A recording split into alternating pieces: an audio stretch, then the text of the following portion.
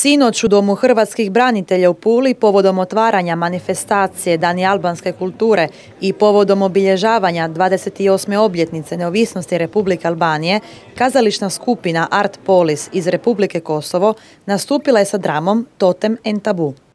Predstava je jedna nova predstava koju smo radili uh, ove godine sa trupom Centra za umetnost Art Polisa i bavi se mnogim temama koje su tabu na, za naše zajednice, koje su tabu i koje vide stvari na nekakvu drugačiju perspektivu, ne samo to što smo što već vidimo i znamo, nego i te tretiraju teme za koje nismo toliko glasne, rekla bih.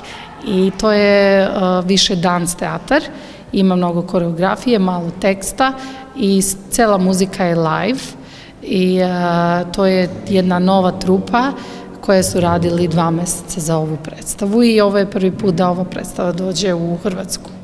Cilj održavanja ove manifestacije i očuvanje kulture i identiteta albanske nacionalne manjine, suradnja zajednica Albanaca s gradom Pula i Istarskom županijom i sa drugim nacionalnim manjinama. Tako se predstava dotiče tema kao što su COVID mjere i utjecaj samoizolacije, diskriminacija u albanskoj kulturi, ravnopravnost spolova, rat na Kosovu i traume kao posljedice rata. Počasni gosti večeri bili su Ermina Leka i Prljaskaj, zastupnica Hrvatskog sabora za nacionalne manjine i zamjenica župana Jessica Kuavita.